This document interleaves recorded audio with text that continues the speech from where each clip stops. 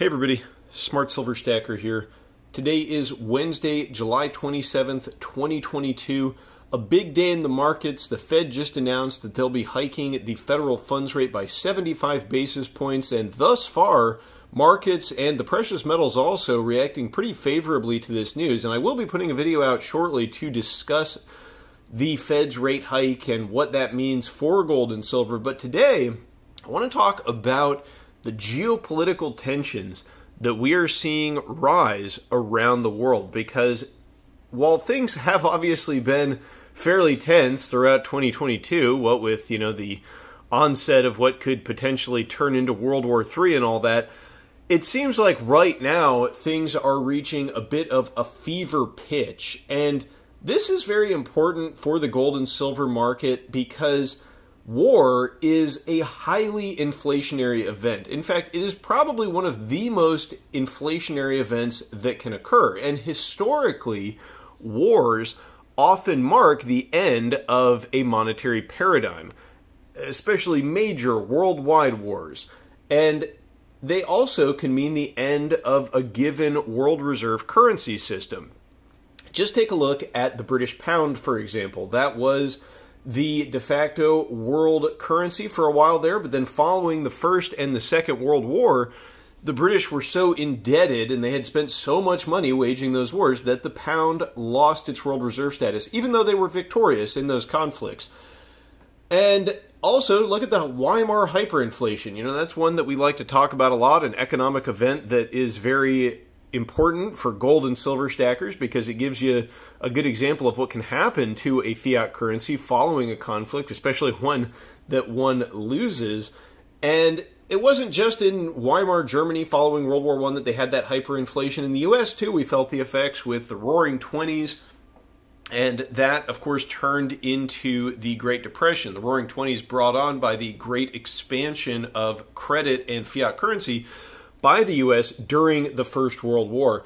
And so all of this is very important to precious metals market. And what is going on? You know, what am I talking about? Well, we've got Nancy Pelosi now planning a trip to Taiwan, and China has promised a forceful response if she goes through with this trip to the island. And if she were to go, it would be the highest ranking U.S. official to visit Taiwan since 1997. So, certainly, it would be a meaningful trip.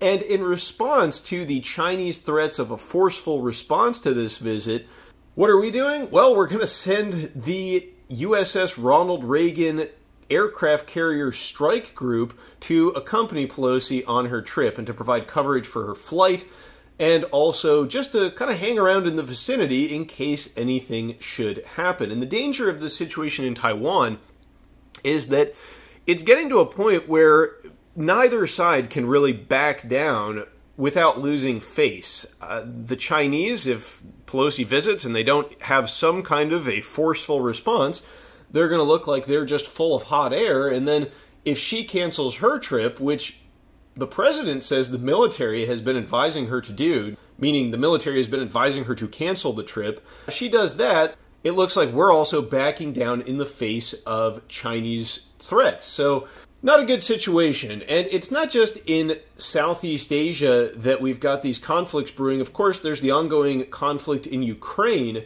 But in addition to that, Russian gas giant Gazprom just inked a $40 billion deal to help develop Iran's gas fields, their natural gas fields. And Iran has the second largest reserves of natural gas in the world, following Russia.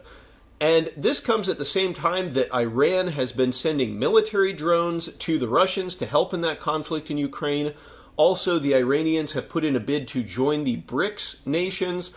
And you know, it's not just Iran. There also it's uh, Egypt, Saudi Arabia, Argentina, and Turkey are also interested in joining the BRICS. So you know, we're starting to see the lines drawn here between East and West. And you know, it is awfully interesting that Turkey is considering joining the BRICS nation, considering they were supplying drones to the Ukrainians, and they're a NATO member.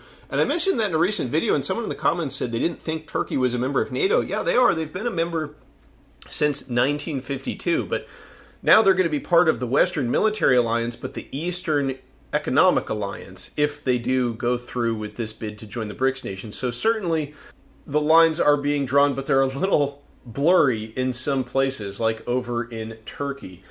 And the fact that Russia now is going to be able to control those Iranian gas reserves through this deal with Gazprom, it means that the Russians are going to control a tremendous amount of the world's energy capacity. And they're using that control already to squeeze Europe. They've now cut the flows of gas through the Nord Stream 1 pipeline to about 20% of its capacity. Now, that is the pipeline that was shut down a couple weeks ago for maintenance, and there was all this speculation that the Russians might not open it back up. And Europe is implementing all of these gas saving measures and energy saving measures. But then the Russians did resume flows, so everybody thought everything was okay. Now, it was only operating at about 40% of capacity, and that's because of these ongoing issues with maintenance. At least that's what Russia claims. You know, the Germans say it's all political.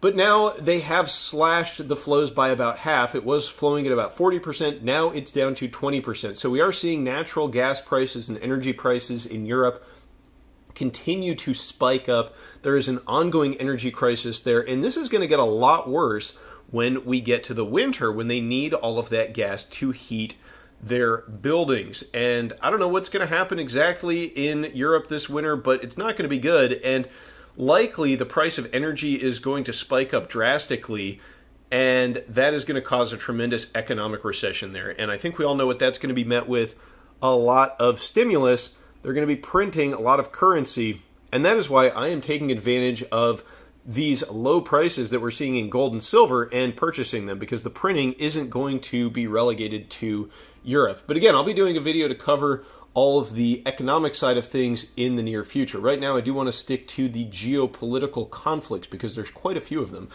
I'd like to say a big thank you to channel sponsor Silver Botanicals, personal care and household products that utilize the power of nano silver and natural essential oils. If you haven't checked them out yet, definitely head over to the Silver Botanicals website with the link down in the description. You can save 10% off of your order there with coupon code STACKER.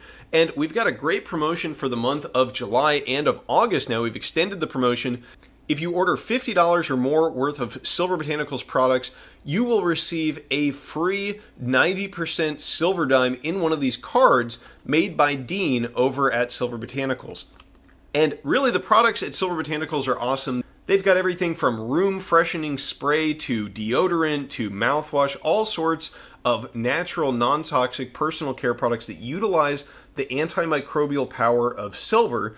And if you like these videos that I put out and you want to support the channel, one of the best ways to do that is to support the sponsors of the channel. So head over to silverbotanicals.com today.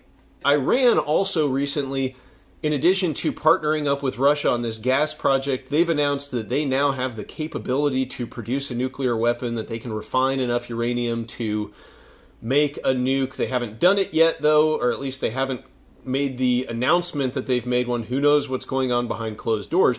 But this is a problem because this may mean that Israel takes it upon themselves to stop the development of a nuclear weapon in Iran, uh, you know, by any means possible and considering the fact that the Iranians and the Russians are cozying up with one another, and China as well, that's a real problem. I mean, a regional conflict in the Middle East between Iran and Israel is not going to be a cakewalk by any means, and the U.S. could easily get drawn into such a conflict. And you know, the U.S. military is likely far superior to the military of Iran or the military of Russia or even the military of China, although China probably has the numbers but the thing is that these conflicts going on in the Middle East, they're right in the backyard of Iran and China and Russia. This is their part of the world. And it's basically the exact opposite of our end of the world. So projecting power into that region is going to be very costly if we are called upon to do so. And it's going to be a very difficult thing. So even if we were to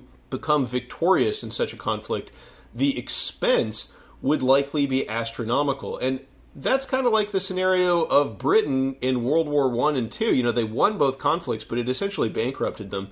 And so, you know, war is not something that we want to engage in, especially at this stage of the game where we've got $30 trillion in debt and, uh, you know, rising inflation, almost double digit inflation now in the U.S.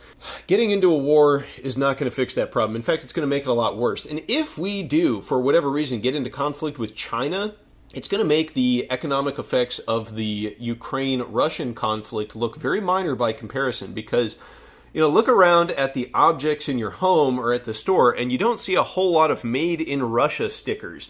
But made in China is another story. So, all those cheap manufactured goods that fill up the Walmarts and the Kmarts of the world and that you can buy on Amazon at dirt cheap prices, well, all that stuff's going to go away. And so, hopefully, we don't get involved in a conflict over there. But it appears that there certainly is a possibility of that. And it's not only China, it's also their proxy state of North Korea North Korea now threatening to conduct more nuclear tests, and of course, this is putting the South on edge.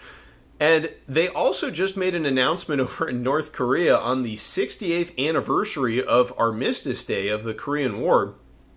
They've warned that there could be a second Korean War breaking out. And this is in response to military drills conducted between South Korea and the US. And so tensions are high all around the world. And I know that they've been high for a while, and it kind of makes you get a little complacent and think, well, you know, they've been ratcheting up tensions for years now.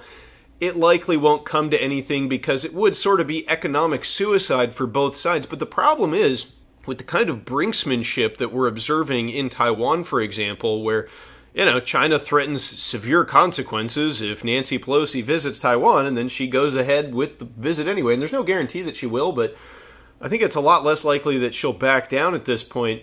You know, you can only roll the dice like this so many times before somebody makes a miscalculation and conflict is on. And it's kind of like World War One. You know, we had all of these systems of alliances and people with massive militaries poised to get involved, and then a seemingly minor event like the assassination of an Austrian heir to the throne leads to one of the bloodiest conflicts in human history. So, you know, hopefully that doesn't happen, but we already are involved in a proxy war in Ukraine, and that alone is going to cost a lot of money, and that alone is going to cause some inflation. But if we do get drawn into a bigger conflict, the consequences, both economically and geopolitically, are going to be tremendous. So let's hope that doesn't happen but let's also not ignore the reality of what's going on on the ground. And just like Zoltan Pozsar predicted back in March, we are seeing the world delineate itself into two rival camps. You've got the West, kind of the old guard,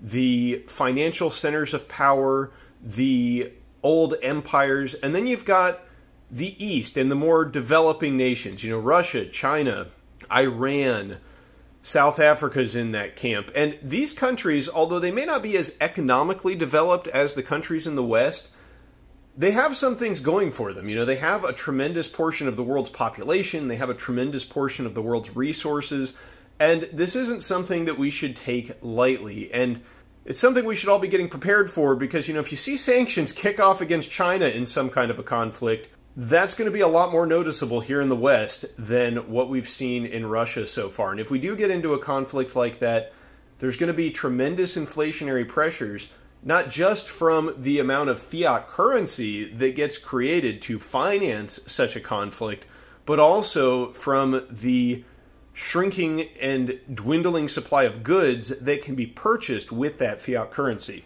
due to our dependence on these nations for their manufacturing capabilities. So, just something to be aware of as we move forward through these troubled times. And like I said, I'm getting my hands on some real money, some gold and silver, inflation hedges that have stood the test of time. And it's not financial advice, but you might want to get your hands on some solid money too, if only as an insurance policy. So let me know what you think down in the comments below, and I will catch you next time. Thank you all very much for watching. Smart Silver Stacker, out.